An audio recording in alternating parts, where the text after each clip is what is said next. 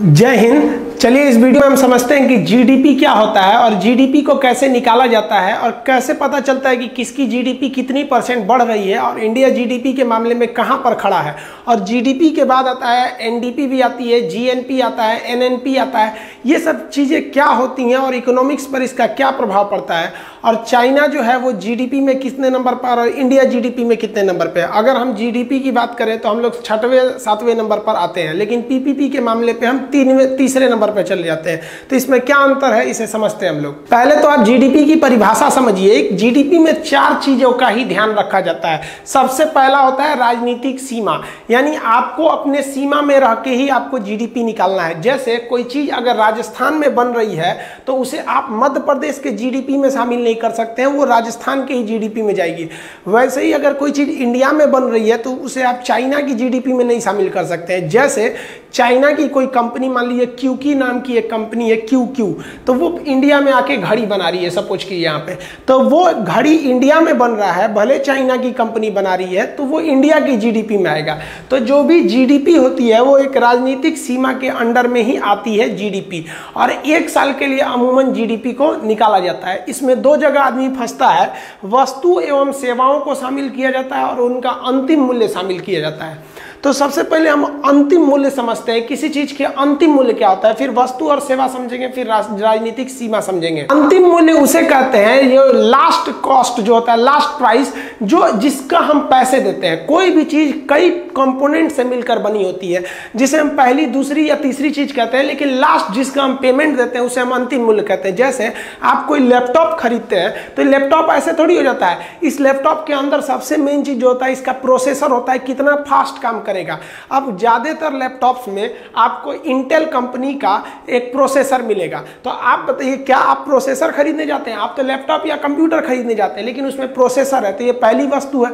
अब इसमें आपको विंडोज़ सॉफ्टवेयर मिलेगा। अब विंडोज़ किसका है? ये माइक्रोसॉफ्ट कंपनी का है। प्रोसेसर इंटेल कंपनी का है। और लैपटॉप आपका मान लीजिए डेल कंपनी का है। तो आप जाते हैं खरीदने तो आप इसका फाइनल पेमेंट देते हैं, अंतिम वस्तु का। डेल ये थोड़ी कहती कि भैया तुम दस हज़ार प्रोसेसर का दे दो दो हज़ार, विंडोज़ का दे दो, अब बाकी हमको दे दो। वो सारा का सारा चीज़ इसमें इंक्लूड रहता है। इसी को हम कहते हैं अंतिम वस्तु। तो ये हो गया पहली, ये हो गया दूसरी, ये हो गया अंतिम। इसको और एग्ज़ाम्पल में समझिए कि कोई भी बिल्डिंग वगैरह बनता है तो उसमें ईटा लगता है सीमेंट लगती है, मजदूरी लगती है, छड़ लगता है, बहुत सी चीज़ें लगता है। इन सबको मिलाकर एक बिल्डिंग बनती है। आप कोई बिल्डिंग या फ्लैट खरीदने जाते हैं तो आपसे लास्ट कॉस्ट बताया जाता है। अंतिम मूल्य बोला जाता है कि इतना हमको, मान लीजिए कि पचास लाख का हमको एक घर, ये है इसका रेट इसमें अलग अलग वस्तु का रेट शामिल नहीं होता। वो थोड़ी कहेगा कि इसमें दो लाख का ईंटा लगा है। आप कहिएगा भाई साहब, थोड़ा दो लाख कम कर दिए तो कहेगा, ठीक है, ईंटा निकाल देते हैं, बाकी बिल्डिंग तुम्हारी हो जाएगी। सीमेंट निकाल देते हैं। ये सब नहीं होता है। उसमें हर एक चीज़ को इंक्लूड किया जाता है। तो हमेशा जो जीडीपी काउंट किया जाता है, वो अंतिम वस्तु पर काउंट किया जाता है। जैसे आप एकदम छोटा एग्ज़ाम्पल समझिए कि समोसा। तो समोसा में ना आपका उसमें आलू का चोखा भरेगा उसमें। उसमें कुछ कुछ मसाला वगैरह डालेगा। मैदान में उसको लपेटेगा, फिर तेल में फ्राई करेगा। तब ना समोसा होगा। समोसा जाते हैं खरीदने तो क्या कहता है कि एक रुपया मैदा का, दो रुपया आलू का आठ आना तेल का, उसमें जो चटनी दिए, उसका, मिर्चा, उसका, ये सब अलग अलग काउंट करता है, कभी नहीं करेगा। आपसे सात आठ रुपया लेगा, कहेगा कि भैया ये एक समोसा का अंतिम मूल्य है। तो कभी भी हम पेमेंट किसके बदले देते हैं? क्या पहली वस्तु का पेमेंट देते हैं? ना दूसरी वस्तु का देते हैं। हम पेमेंट देते हैं, अंतिम वस्तु का पेमेंट देते हैं। कहीं भी भी हमको पेमेंट करना होता है, अंतिम वस्तु का।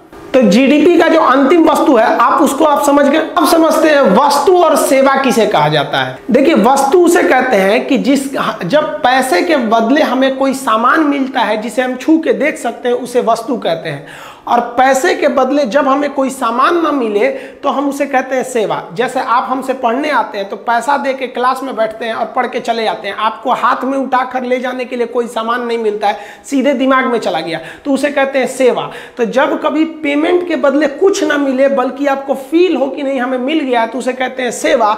और अगर सामान मिल गया तो उसे हम क्या कहते हैं? वस्तु। जैसे आप होटल में खाना खाने जाते हैं तो जो मैनेजर को पैसे देते हैं, वो आप पैसे उस वस्तु वस्तु के बदले दिए जो उसने आपको खाने के लिए दिया। लेकिन जो वेटर को टिप देते हैं, दस बीस रुपए, वो क्या है? वो सेवा के बदले दिए कि वेटर आपको ले आके रखा, नहीं तो खुद जाके आपको ले आना पड़ता। तो वो हो गई आपकी सेवा। इंडिया में अलग अलग टाइप की वस्तुओं का निर्माण होता है। जैसे कार वगैरह का निर्माण हो गया इलेक्ट्रिक सामानों का निर्माण हो गया, बिजली घर, कोयला सीमेंट फैक्ट्री हो गया मोबाइल बनते हैं कैमरा बनता है, हर एक चीज़ के बनते हैं सब। आपके बिल्डिंग इक्विपमेंट में कुदारी मान लीजिए करनी, बसूल, सब चीज़ बनते हैं सब यहाँ पे। ये जितनी चीज़ें बन रही जैसे हॉस्पिटल इक्विपमेंट हो गया, उसका ऑक्सीजन सिलेंडर बनेगा आपका बेड बनता है वेंटिलेटर बनता है लाइट्स बनते हैं। ये आपका जो खेती के इक्विपमेंट होते हैं, ये भी कहीं ना कहीं फैक्ट्री में बन रहे होते हैं सब, ये दूध बन रहा होता है कोल्ड ड्रिंक पेप्सी ये सब जितनी चीज़ें हैं, ये सब क्या है सब भाई? ये गुड्स है, सब सामान है जिसका उत्पादन इंडिया में हो रहा है। जैसे कपड़ा का उत्पादन हो गया, खेलने वाली चीज़ों का उत्पादन हो गया, ये सब क्या चीज़ आ जाते हैं सब? गुड्स हो जाते हैं सब। अब हिंदुस्तान में करोड़ों चीज़ें बनती हैं सब, इसका ही हिसाब रख लेना जीडीपी कहलाता है।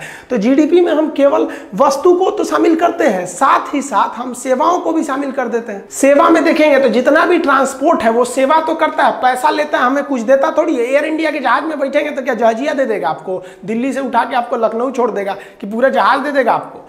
ट्रेन हो गया, बस हो गया, कोई भी ट्रांसपोर्ट हो गया, वो क्या है? सेवा है। पैसा लेके बदले में हमें यहाँ से वहाँ पहुँचा देता है। बैंकिंग LIC क्या है? सेवा है। स्कूल कोचिंग ये सब की सब क्या है? सब सर्विस सेक्टर है। सब सेवा का चीज़ हो गया आपका। जितने भी टेलीकॉम कंपनी है जियो है, आप कहते हैं हेलो तो आपको क्या पहुँचा देता है यहाँ से? वहाँ केवल आपकी आवाज़ को पहुँचा देता है और आपके काम को आसान कर देता है। हालाँकि हम सेक्टर्स पे एक अलग भी वीडियो बनाए हैं कि कितने सेक्टर्स के इंडस्ट्री होते हैं। तो ये भी सेवा सेक्टर होता है। ब्यूटी पार्लर में भी देखते हैं ना, यहाँ पे कोई चमगादड़ घुसती है, परी बन के निकल जाती है। तो ये क्या करता है? सेवा बन, कर देता है। उसका एकदम बढ़िया से उसका कलर वलर बदल देता है। मेकअप वेकअप करके। सैलून भी क्या है? वो सेवा है। जिम भी क्या है? सेवा है। तो जीडीपी में आप अंतिम वस्तु समझ गए, हमें किस चीज़ का प्राइस जोड़ना है, अंतिम वस्तु का और किस किस चीज़ का? तो वस्तु और सेवा का, अब आप सोचिए कि अकेले जियो कितना करोड़ कमाया एयरटेल कितना कमाया, अमूल दूध वाला, सुधा दूध वाला सोनी कंपनी वाला, अब बताइए कितनी कंपनियाँ हैं, वो कितना पैसा कमा रही होंगी, उन सारे के सारे को जोड़िएगा तो आपका क्या आएगा? इंडिया की जीडीपी निकलती है। अभी और कुछ है जीडीपी में, आप समझते हैं राजनीतिक सीमा, एक साल तो समझ में आ ही गया होगा कि साल किसे कहा जाता है। राजनीतिक सीमा क्या होता है? देखिए, ये जो नक्शा दिख रहा है, ये हमारा भौगोलिक सीमा है भूगोल के हिसाब से। लेकिन इकोनॉमिक्स इस भूगोल के सीमा से भी बड़े सीमा को मानता है। वो कहता है, हमको पॉलिटिकली बाउंड्री चाहिए, राजनीतिक सीमा। जैसे कोई यहाँ पर मछली पकड़ने चला आया तो ये इसकी राजनीतिक सीमा है। मान लीजिए, यहाँ से कोई पेट्रोल निकाल रहा है, मछली पकड़ने वाला क्या हो गया? राजनीति राजनीतिक सीमा। कोई यहाँ समुद्र से पेट्रोल निकाल रहा है तो ये हमारे भौगोलिक सीमा में नहीं है, लेकिन हमारे राजनीतिक सीमा की वजह से भी ये हमारी ही जीडीपी में आएगा। अब जैसे एयर इंडिया का जहाज़ है, अब वो इंडिया से गया, किसी को दुबई छोड़ के आया तो इंडिया तो क्रॉस करके दुबई चला गया। तो आप कहेंगे कि आप बताए थे, सर जीडीपी में हमारी अपनी सीमा होनी चाहिए। तो भौगोलिक सीमा नहीं, राजनीतिक सीमा। वो भले दुबई गया है, दिल्ली से गया है दुबई, लेकिन उस पर राजनीतिक रूप से भारत का अधिकार है। तो एयर इंडिया की सारी की सारी इनकम किसमें आ जाएगी? जीडीपी में। हमारे जो दूतावास है, जैसे मान लीजिए पाकिस्तान में है, इंग्लैंड में वो दूतावास। और वो दूतावास वहाँ पर किसी का काम करता है, जैसे मान लीजिए किसी का पासपोर्ट खत्म हो गया तो वहाँ पे फ़ीस देगा ना कि भैया मेरा पासपोर्ट का डेट खत्म हो गया, आप बना दीजिए। तो वो जो फ़ीस होती है एम्बेसी की, दूतावास की, वो हमारे भौगोलिक सीमा में नहीं है, लेकिन राजनीतिक सीमा में वो भी चली आती है। तो ये चारों चीज़ अगर याद हो गया, तब हम आगे बढ़ते हैं जीडीपी समझाने के लिए। ये तो बेसिक चीज़ हो गया तो जीडीपी में क्या रखते हैं? राजनीतिक सीमा के अंतर्गत एक साल में उत्पादित होने वाली सभी गुड्स, यानी वस्तु एवं सर्विस, यानी सेवाओं का अंतिम मूल्य को आप शामिल कर लेते हैं तो उसी को जीडीपी कहते हैं। मोदी जी ने कहा है ना कि हमें अपनी जीडीपी को पाँच ट्रिलियन बनाना है। हालाँकि अभी हम लोग 2.8 मतलब लगभग तीन ट्रिलियन पे हम लोग हैं। हमें जाना कहाँ है? पाँच ट्रिलियन पर जाना है। अब जीडीपी का फुल फॉर्म होता है ग्रॉस डोमेस्टिक प्रोडक्ट ग्रॉस का मतलब होता है सकल. सकल का मतलब है टोटल टोटल मतलब समझ गए आगे? टोटल कितना आपने उत्पादन की, उत्पादित किया? तो ग्रॉस डोमेस्टिक मतलब अपने घर में, यानी अपने देश, अपनी सीमा के अंतर्गत आपने कितना उत्पादन किया? इसी को कहते हैं सकल घरेलू उत्पाद। यानी टोटल आपके घर में कितना उत्पादन हुआ, उसी को हम क्या कहेंगे? जीडीपी सपोज़ कर लीजिए, ये हमारा इंडिया है, एक रफली हम ऐसे समझा दिए यहाँ पर। यहाँ पर हमारी इंडिया की कई कंपनियाँ मिलकर हम एक ही कंपनी को अभी कंसिडर करते हैं, ताकि कैलकुलेशन में आसान हो। टाटा कंपनी ने, मान लिया कि सौ रुपया का माल बनाया यहाँ पर। और एल कंपनी जो विदेश की कंपनी है, इसने यहाँ पर पचास रुपए का माल बनाया। तो हमारी जो जीडीपी हो गई, वो कितनी हो गई? डेढ़ सौ रुपए हो गई। और मान लिया कि इंडिया का एक आदमी है, जिसका नाम है रमेश, ये रमेश नाम का व्यक्ति सऊदी अरब में काम करने गया है। वहाँ जाके ये दस रुपया कमा लिया। तो आप कहेंगे कि सर जीडीपी कितनी हुई? तो देखिए जीडीपी में हम अपनी सीमा के बाहर नहीं जाते हैं। तो हमारी जो जीडीपी हो गई ग्रॉस डोमेस्टिक प्रोडक्ट यहाँ डोमेस्टिक शब्द ध्यान दीजिएगा कि घरेलू उत्पाद हमारे घर में कितना हुआ है तो ये घरेलू उत्पाद कितना हो जाएगा? जीडीपी हमारा 50 और ये सौ, डेढ़ सौ हो जाएगा। जबकि रमेश की आय को हम नहीं शामिल करेंगे क्योंकि वह सीमा के बाहर चला गया। भले हमारा है तो क्या हुआ? हमारी सीमा के बाहर गया। हम उसे शामिल नहीं करते हैं। तो जीडीपी जो होता है, ये अच्छा भी है और ख़राब भी है। जीडीपी से हमें ये पता चलता है कि हमारे यहाँ किसी चीज़ का उत्पादन कितना हो रहा है। अगर जीडीपी ज़्यादा है तो आपके यहाँ उत्पादन ज़्यादा हो रहा है। इसका मतलब आपके यहाँ लोगों को रोज़गार ज़्यादा मिलेगा और सरकार को टैक्स ज़्यादा मिलेगा। और विदेशी कंपनियाँ भी इसको अच्छा मानती है कि उत्पादन ज़्यादा हो रहा है। इसका मतलब वहाँ उत्पादन करने की क्षमता ज़्यादा है, तभी तो उत्पादन ज़्यादा हो रहा है। क्या रेगिस्तान में कभी बागीचे का उत्पादन हो सकता है, नहीं हो सकता है। जहाँ हरी भरी फ़सल उग रही है मतलब वहाँ की ज़मीन अच्छी है तो जीडीपी अच्छा मतलब आपका देश अच्छा। और जीडीपी चौपट मतलब आपका देश का चौपट होना फिक्स है। लेकिन जीडीपी का मतलब ये हरगिज नहीं कि ये सारा का सारा पैसा आपको आने वाला है। ये अलग बात है कि एलजी कंपनी हमें रोज़गार देगी एलजी कंपनी भारत सरकार को टैक्स देगी, लेकिन एलजी कंपनी अपना टोटल मुनाफा अपने देश में लेके जाएगी। और ये रमेश जो है, ये दस रुपया भले भारत के बाहर कमा रहा है लेकिन ये भारत को भेजेगा। तो जीडीपी जो है, वो ग्रॉस यानी टोटल डोमेस्टिक प्रोडक्ट को दिखा रहा है, आपके घरेलू उत्पाद को दिखा रहा है, लेकिन ये आपके अपने प्रोडक्ट को नहीं दिखा रहा होता है। लेकिन अगर हम आपको कह दें क्या ये जीडीपी आपके नेशनल प्रोडक्ट है, आपका राष्ट्रीय उत्पाद है तो गलत है। ये राष्ट्रीय उत्पाद नहीं है, ये हमारे घरेलू एरिया में उत्पादित हो रहा है, लेकिन 100 परसेंट ये हमारा नहीं है। इससे यही दिखता है कि सरकार को टैक्स ज़्यादा मिलेगा, रोज़गार होगा और उस देश का उत्पादन क्षमता बढ़ेगा। इसे देखकर विदेशी कंपनियाँ भारत में आएँगी। तो अब बात कर लेते हैं उस पैसे का जो भारत के काम में आने वाला है, यानी जो हमारे राष्ट्र का पैसा है, नेशनल इनकम है। तो उसे कहते हैं ग्रॉस। देखिए मैथ में टोटल चीज़ों को हम टोटल कहते हैं, लेकिन इकोनॉमिक्स में हम टोटल न करके ग्रॉस कहते हैं। तो ग्रॉस नेशनल प्रोडक्ट, सकल राष्ट्रीय उत्पाद। देखिए, वो घरेलू था, यानी हमारे घर में हो रहा था, और ये हमारे राष्ट्र का पैसा है। तो इसलिए इसको हम शॉर्टकट में जीएनपी कहते हैं। अब आप ही से कहते हैं जीएनपी यानी राष्ट्र का पैसा कैसे निकालेंगे? आप इस जीडीपी में से, यानी जो इस बाउंड्री के अंदर है, इसमें से आप ये विदेशी वाला पैसा निकाल दीजिए और ये जो बाहर है रमेश, इसको जोड़ दीजिए तो ये क्या बन जाएगा? आपका जीएनपी बन जाएगा। तो हम ये लिख सकते हैं कि जीएनपी बराबर जो जीडीपी है इसी जीडीपी में हम रमेश के पैसे को जोड़ दें और ये एलजी का पैसा घटा दें तो हमें क्या मिल जाएगा? जीएनपी मिल जाएगा।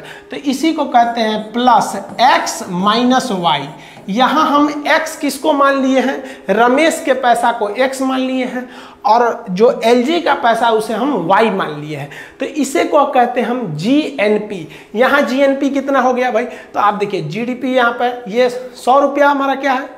टाटा का, इंडिया का ही। और रमेश वाला दस जोड़ दीजिए। 110 हमारा क्या हो जाएगा? जीएनपी तो एक आप डायरेक्ट निकाल सकते हैं कि एक अपना देख लीजिए, एक बाहर वाला देख लीजिए। और नहीं, अगर आप फॉर्मूला के हिसाब से निकालेंगे तो पहले जीडीपी निकालिए, फिर इसमें रमेश वाला जोड़ के इसको घटाइए। आंसर तो सेम आने वाला है। तो यहाँ देखिए आपको यहाँ लिख देते हैं जीडीपी कितना आया है? डेढ़ सौ। अब इसमें प्लस करते हैं रमेश का इनकम रमेश का इनकम यानी एक्स दस रुपया है। माइनस करते हैं हम यहाँ एल का। कितना है? पचास। तो ये हो गया आपका 160 माइनस पचास। कितना आ गया? 110 तो ये 110 रुपया हमारा जीएनपी हो गया। अब आप बताइए, हमारा जीडीपी ज़्यादा दिख रहा था, लेकिन जो हमारे काम लायक था जीएनपी वो तो कम हो गया। तो अमूमन जो देखा जाता है, वो जीडीपी बड़ा होता है और जीएनपी छोटा होता है। लेकिन एक अर्थव्यवस्था होती है, एक इकोनॉमी होती है, जिसे कहते हैं क्लोज्ड इकोनॉमी क्लोज्ड इकोनॉमी को हम कहते हैं बंद अर्थव्यवस्था। उसमें ना आयात हो सकता है, ना निर्यात हो सकता है। तो जब आयात नहीं होगा, निर्यात नहीं होगा तो इस फॉर्मूला के हिसाब से देखिए, ना एक्स और वाई ये दोनों नहीं रहेंगे तो उस कंडीशन में जीडीपी और जीएनपी क्या हो जाएँगे? बराबर हो जाएँगे।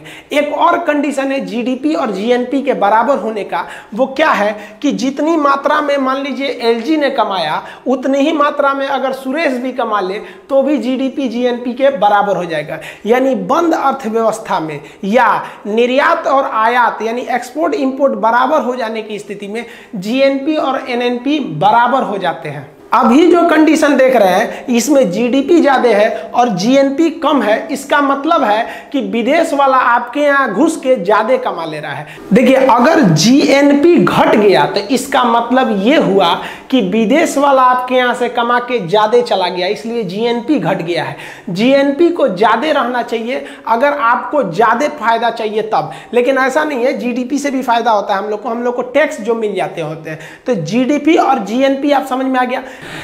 जैसे हम आपको एग्ज़ाम्पल देते हैं, आप बताएँगे, जो जियो है रिलायंस जियो ये जो जितनी चीज़ सर्विस का जो उत्पादन कर रहा है, वो किसमें जाएगा? वो इधर से तो जीडीपी में जाएगा ही जाएगा, साथ ही साथ वो जीएनपी में भी आएगा, क्योंकि वो इंडिया का नेशनल चीज़ है। लेकिन अगर आप वोडाफोन की बात करेंगे तो वोडाफोन हमारे जीडीपी में जाएगा, लेकिन वो हमारे जीएनपी में नहीं आएगा। तो जीडीपी जीएनपी में आप खुद से डिसाइड कीजिएगा कि कौन सी कंपनी जीडीपी जीडीपी में तो जितनी कंपनी आप इंडिया में देख रहे हैं, सब आएगी, लेकिन उसमें से आप छाटिए, जो इंडियन होंगी, वो कहाँ चली आएँगी सब? जीएनपी में आ जाएँगी सब। अब इसमें एक नया चीज़ आता है, आप जीडीपी में देखेंगे तो इससे भी आता है कि एनडीपी और जीएनपी में देखेंगे तो इसमें भी आता है एनएनपी यानी दोनों चीज़ों के पहला अक्षर जी को हटा के वहाँ एन लगा दिया जाता है। यानी नेट पर वैल्यू क्या होती है? तो देखिए नेट किसको कहा जाता है। जैसे मान लिया कि हम, हमने किसी चीज़ का उत्पादन किया, जैसे एलईडी बल्ब का उत्पादन किया, दस एलईडी बल्ब का उत्पादन किया। लेकिन उसमें से एक एलईडी बल्ब फ्यूज निकल गया और एक एलईडी बल्ब कहीं गिर कर टूट गया। यानी दो मेरा बर्बाद हो गया। तो इसे हम डिप्रेसिएशन कहते हैं। तो दो ठो जो बर्बाद हो गया, ये हमारे तो हमारा जो ग्रॉस प्रोडक्शन था, टोटल उत्पादन था, वो तो था दस एलईडी बल्ब का। लेकिन टूट फूट हो गया दो ठो का तो नेट प्रोडक्ट नहीं है। अब हमको नेट मेरी वैल्यू आएगी केवल आठ एलईडी बल्ब के बराबर। देखिए आप नेट वैल्यू कैसे निकालते हैं? जैसे यहाँ जीडीपी है तो ये ग्रॉस वैल्यू है, यानी टोटल है। नेट वैल्यू नहीं है। नेट निकालने के लिए जी हटा के वहाँ एन लिखना पड़ेगा। तो एनडीपी क्या होता है? नेस नेट डोमेस्टिक प्रोडक्ट तो यहाँ मान लीजिए कि टाटा ने बनाया था, यहाँ पे आपका सौ रुपये का सामान और एल ने बनाया था पचास का। टोटल आपकी जीडीपी हुई थी डेढ़ सौ की और पता चला इसमें दस का सामान टूट फूट गया।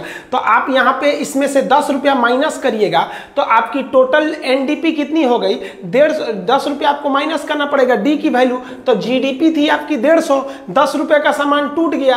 आपकी एनडीपी कितनी हो गई भाई? आपकी एनडीपी हो गई एक सौ चालीस रुपए की। अब इसमें से भी देखिएगा तो ऐसा भी तो हो सकता है कि टाटा का आठ रुपए का सामान टूटा होगा और एलजी के दो रुपए का सामान में टूट फूट या मशीनों में घिसावट आई होगी। तो टोटल हमने डी की वैल्यू कितनी लगाई थी? दस रुपए। तो यहाँ पे आप बताइए जीडीपी तो डेढ़ सौ था, लेकिन एनडीपी जो टूट फूट निकालने के बाद नेट वैल्यू आया था, यानी शुद्ध घरेलू उत्पाद नेट को बोलते हैं शुद्ध, वो कितना आ गया? 140 और अगर हम यही इधर कह दें कि नहीं, इधर भी बताइए, जीएनपी में भी टूट फूट निकाल कर नेट वैल्यू निकालिए तो नेट वैल्यू में हम क्या कहते हैं? मूल्य ह्रास घटा देते हैं, यानी डिप्रेसिएशन। अब आप बताइए, इसमें क्या किए थे कि हमने जीडीपी में से हमने किसको निकाल दिया था? जीएनपी कैसे निकाला जाता है? टोटल अपना वाला, यानी टाटा वाला निकाल दीजिए और रमेश वाला। अब देखिए, टाटा का यहाँ पर इनकम कितना था भाई साहब? सौ रुपए। तो टाटा का था सौ और रमेश का कितना था? दस। तो टोटल हमारा जीएनपी कितना आ गया? एक सौ दस। लेकिन रमेश वाले में तो किसी भी प्रकार का मूल्य ह्रास यानी डिप्रेशिएशन टूट फूट नहीं हुआ। लेकिन टाटा का सामान कितना का टूट गया था? आठ का। तो फिर यहाँ पर डी की वैल्यू कितनी आ गई है? आठ। तो यहाँ जीएनपी कितना है? एक सौ दस और आठ टूट फूट है, यानी यहाँ पर कितना आ गया आपका जीएनपी एक सौ दो रुपए आ गया यहाँ पर। तो ये मूल्य ह्रास यानी डिप्रेसिएशन अगर आप घटा देते हैं तो उसे हम शुद्ध वैल्यू या नेट वैल्यू कहते हैं। ये दोनों में शुद्ध वैल्यू निकाला जाता है। जीडीपी साइड से भी और जीएनपी साइड से भी निकाला जाता है। दोनों के लिए फॉर्मूला एक कि टूट फूट घटाइए। यहाँ हमने दस रुपया टूट फूट को घटाया क्योंकि दो रुपया के टूट फूट एल में हुआ था और टाटा में हुआ था। लेकिन यहाँ हम केवल आठ रुपये ही घटाए क्योंकि जीएनपी यानी नेशनल प्रोडक्ट में हम तो एलजी वाले को शामिल ही नहीं किए है तो उसके टूट फूट को क्यों शामिल करेंगे? तो आप ये समझ गए कि कितने टाइप के होते हैं, यहाँ चार चीज़ आप समझे। जीडीपी जीएनपी और दोनों का शुद्ध वैल्यू यानी एनडीपी और एनएनपी को आप समझे, चारों टाइप को। अगर आप भारत की जीडीपी की बात करेंगे तो ट्रिलियम में होगा। ट्रिलियम कैसे देखिए ध्यान से। अंग्रेज़ जो जो इंग्लिश पद्धति होती है, हम लोग तो दो दो ज़ीरो को फॉलो करते हैं। वो लोग ट्रिपल ज़ीरो को फॉलो करते हैं। यानी तीन ठो अगर ज़ीरो आप बना दिए यहाँ पर तो आप समझिए कि ये थाउज़ेंड वैल्यू है, तीन ज़ीरो पर।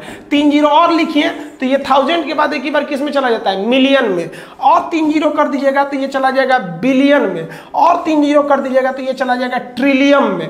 तो ये ट्रिलियम होता है इतना ही। अब हमको अपनी जीडीपी कितनी करनी है भाई? तो हमको जीडीपी करनी है पाँच ट्रिलियम करनी है, पाँच ट्रिलियम तो पाँच ट्रिलियम डॉलर जीडीपी करने में अभी बहुत ज़्यादा टाइम लग जाएगा। तो अभी यहाँ देखिए, हम लोग की जो जीडीपी आगे अटकी है, वो छठवें या सातवें स्थान पर रहती है क्योंकि दोनों में ज़्यादा का अंतर नहीं है। हमसे थोड़ा सा नीचे है फ्रांस, कभी फ्रांस आगे चला जाता है तो कभी हम पीछे चले जाते हैं। अभी फ्रांस हमसे थोड़ा सा आगे निकल गया है जीडीपी के मामले में। अब उसके कई रीजन थे जो जीडीपी में आगे निकल गया। देखिए, इस जीडीपी में हम लोग का जो यहाँ पे जीडीपी आपको दिख रहा है, लगभग तीन ट्रिलियन डॉलर की।